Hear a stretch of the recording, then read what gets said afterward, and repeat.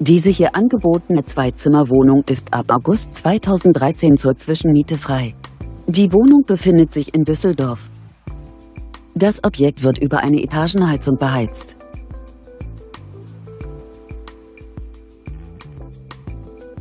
Die Wohnfläche der möblierten Wohnung liegt bei ca. 60 Quadratmetern. Die monatliche Pauschalmiete beträgt 895 Euro.